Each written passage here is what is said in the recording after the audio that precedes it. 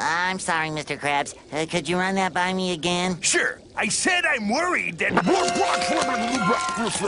That's what I thought you said. Now let me offer this as a rebuttal.